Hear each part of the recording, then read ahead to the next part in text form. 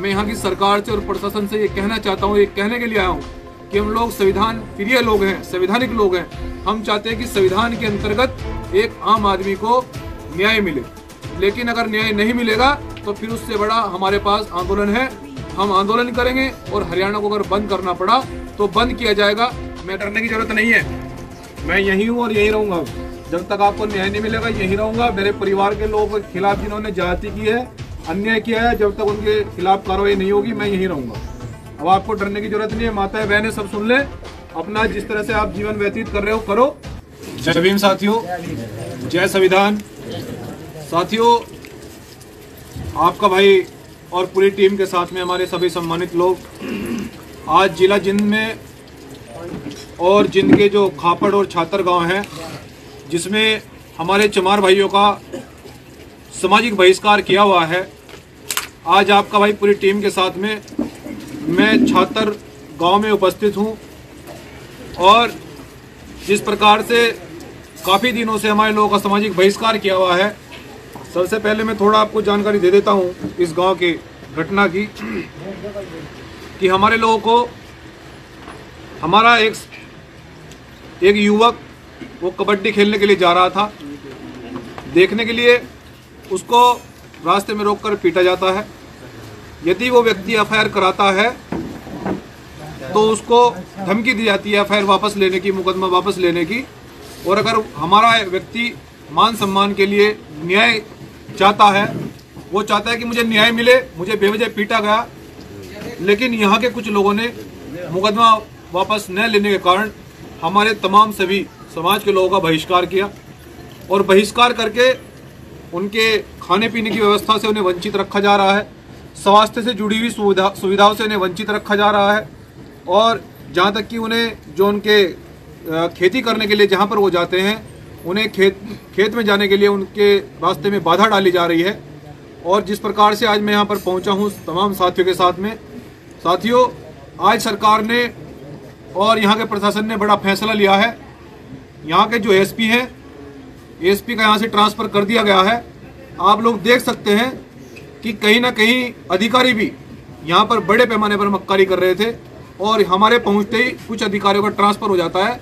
तो मैं बस ये कहना चाहता हूँ कि मैं यहाँ न्याय करने के लिए आया हूँ। न्याय दिलाने के लिए आया हूँ अपने परिवारों को। उनके, अपने परिवारों का हाल जानने के लिए आया हूँ।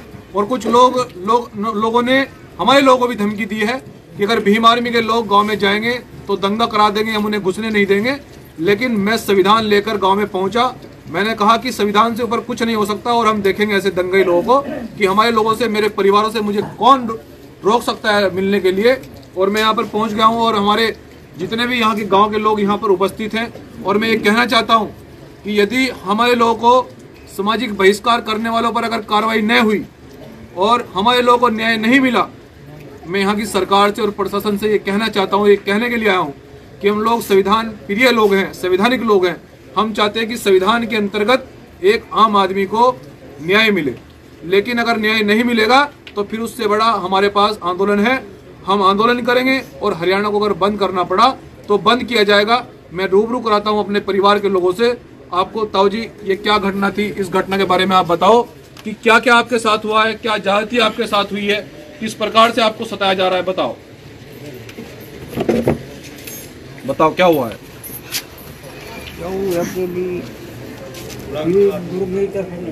अच्छा। अच्छा।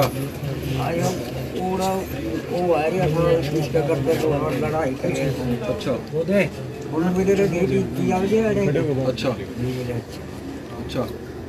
उसका करना पड़ दिए करना अच्छा। ये तो मोटरसाइकिल ले रहे थे दिए अच्छा। अच्छा। अच्छा तो उसने जब एफ़ कराई तो मुकदमा वापस लेने की धमकी दी उन्होंने? हाँ। क्या कहते हैं वो लोग? गाली देते थे? और धमकी देते? थे अच्छा धमकी में क्या कहा कि मार देंगे। अच्छा। अच्छा। तो थोड़ी तेज आवाज़ में बता।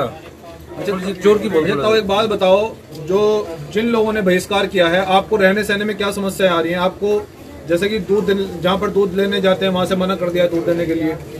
खेत में जाने के लिए वो बाधा डालते हैं ऐसा ही है? हाँ जी।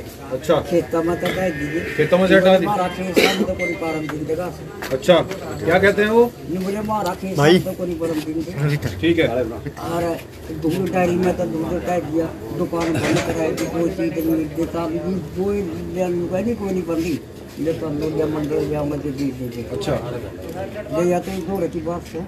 अब ताऊ जी बस ये जान लो इस समाज इस गाँव के लोग ताऊ उन्हें बता देना कि आज हमारा बेटा आ गया है। हाँ हमारा बीमा आ गया है। अगर वो लोग मनवा दिए तो हमारा बीमा आ गया है। उनका संवैधानिक रूप से इलाज होगा और सब पर कार्रवाई होगी। कुछ अधिकारी आज ही सस्पेंड हो गए हैं। कुछ का ट्रांसफ़र हो गया है। ठीक है? तो न्याय होगा और किसी से डरने की ज़रूरत नहीं है। मैं यही हूँ और यही रहूँगा। जब तक आपको न्याय नहीं मिलेगा, यही रहूँगा। मेरे परिवार के लोगों के खिलाफ जिन्होंने जाति की है, अन्याय किया है, जब तक उनके खिलाफ कार्रवाई नहीं होगी, मैं यही रहूँगा। अब आपको डरने की ज़रूरत नहीं है, माताएँ, बहनें, सब सुन ले। अपना जिस तरह से आप जीवन व्यतीत कर रहे हो, करो। जो आप लोग काम करते हो, वो करो। अगर उसमें कोई बाधा डालेगा या कोई बेवजह सताएगा तो फिर उसका इलाज मंजीत सिंह नोटियाल करेगा। मैं यही हूँ। जय भीम। भाई, ये जो गाँव में कमेटी बनाई हुई है, कोई इसके बारे में